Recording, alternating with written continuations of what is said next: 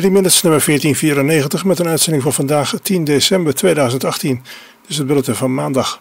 Niet zo'n lange uitzending vandaag. Er is data, automatisch schakelend met 1500 hertz als centrale frequentie. Verder had ik één deel van geheime elektronica nog niet uh, uitgezonden. Ik had verder helaas niet genoeg tijd om het vrij lange deel over spionageverhalen gisteren al geschreven vandaag op te nemen. Hoogstwaarschijnlijk wordt het morgen. En dan nu deel 29 van de serie over geheime elektronica. In deel 28 hebben we een deel behandeld van wat privédetectives in Nederland wel en niet mogen en over wat hun werk inhoudt. Dit soort detectivewerk beperkt zich niet tot privaatrechtelijke aangelegenheden, priva privaatrechtelijke aangelegenheden, zoals bij echtscheidingen. Uh, privédetective wordt ook in het strafrecht ingezet, dat bleek de vorige keer. Privédetectives en politiefunctionarissen hebben verschillende bevoegdheden die elkaar overlappen. Maar er zijn ook dingen die politiefunctionarissen niet mogen en privédetectives wel. En er zijn dingen die privédetectives niet mogen en politiefunctionarissen wel. Een privédetective heeft ondanks de vergunning van de minister die hij nodig heeft, in feite geen andere bevoegdheden dan een gewone burger.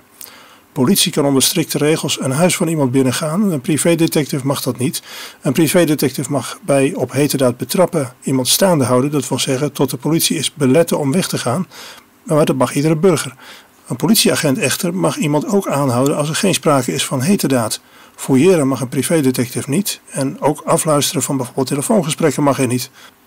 Binnen het civiele recht houdt een privédetective zich bezig met echtscheidingszaken, zoals we al zeiden, conflicten tussen werknemers en werkgevers en verzekeringswerk.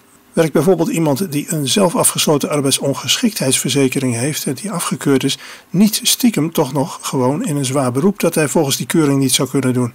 Een privédetective kan overigens proberen onrechtmatig verkregen bewijs in een rechtszaak in te brengen. Het hangt in zo'n geval van de rechter af en ook van de jurisprudentie, dat wil zeggen voorgaande rechtszaken, of dat onrechtmatige bewijs toegelaten wordt.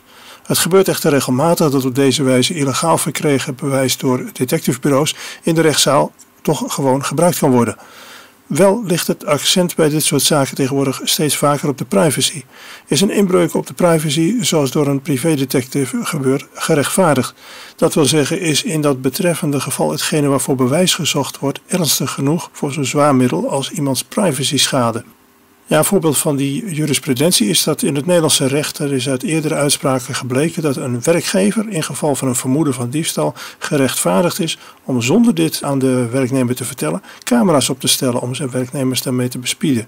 Hier weegt het belang van de werkgever dus zwaarder dan de privacy van de werknemer. Waarschijnlijk mag de wetgever hierdoor deze camera's ook laten ophangen, zeker bekijken, door een privédetective. Daily Minutes zijn dagelijks vanaf ongeveer 1900 uur te beluisteren. De uitzending wordt een dag later om half elf ochtends herhaald. Alle mail is welkom op het adres x, xdv.me. Dat is ook te vinden rechts bovenaan de webpagina van de uitzendingen www.pa0ete.nl. De Daily Minutes toont iedere dag weer aan de hand van schokkende voorbeelden hoe een hobby mensenlevens kan veranderen. De internetfaciliteiten en studiohardware voor Daily Minutes worden gesponsord door 70mhzshop.nl. 70mhzshop.nl